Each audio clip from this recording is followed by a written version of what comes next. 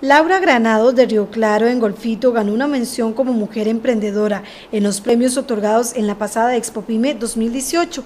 Ella tiene una empresa llamada Ecotico, que es un emprendimiento que se dedica a la producción y comercialización de hongos ostra, los cuales por ser ricos en vitamina A, B y C, permiten una alimentación nutritiva a sus consumidores. En febrero del 2016 ingresé a la incubadora de negocios del MEP, INSUR esto dio un impulso al emprendimiento a lograr la asistencia técnica por medio del MAC, recibiendo asesoría de otros productores. Realizó las primeras siembras en instalaciones improvisadas en el cuarto de pila de mi casa para experimentar las condiciones climatológicas y la aceptación del producto en la zona, dándome esto buenos resultados.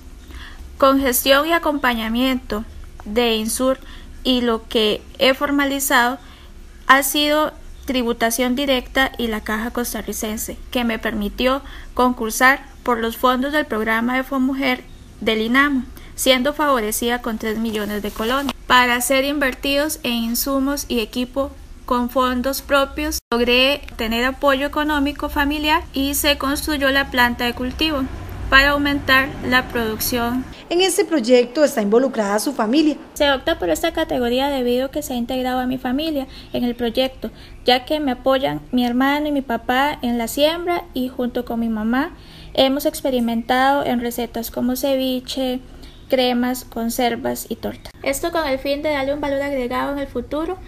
Con el acompañamiento del MEI estoy tramitando el registro de la marca COP que significa semilla en lengua bronca. La empresa espera este año lograr el galardón bajo la categoría de cambio climático, ubicar los productos en el mercado de la zona sur y constituirse como una pyme.